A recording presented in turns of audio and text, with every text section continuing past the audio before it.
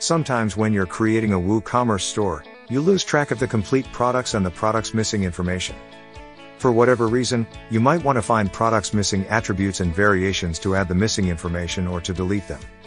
When that happens it can be really difficult to find those products, especially if you have hundreds of products in your WooCommerce store.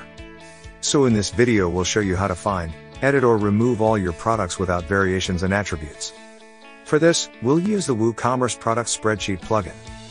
It displays all your WooCommerce products in a spreadsheet where you can do advanced searches, localize cells and columns, apply massive changes to your products, etc.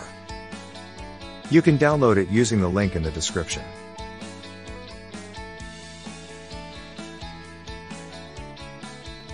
To find all the product's missing attributes and edit them in the spreadsheet, open the search tool with one click on the toolbar.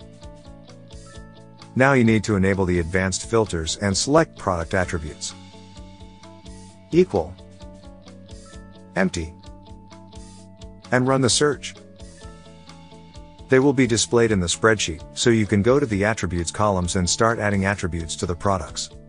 For example, if you've created product colors and sizes, you can add the information in those columns so that your products have attributes to create the variations. We have a video on how to create product variations in bulk, so you can search for it in the description of this tutorial.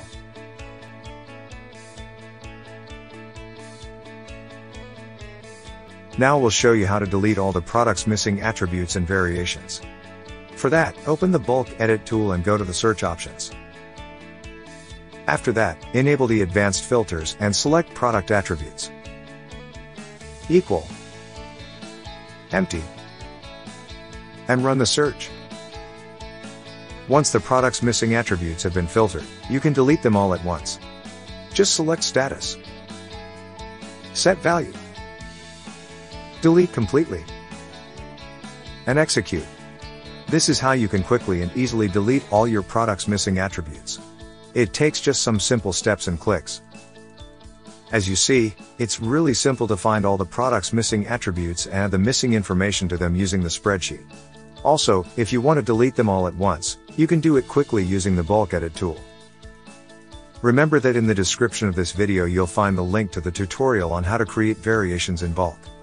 You can download the plugin with the link in the description of the video and visit our website for free live chat support. Subscribe and don't miss any of our videos.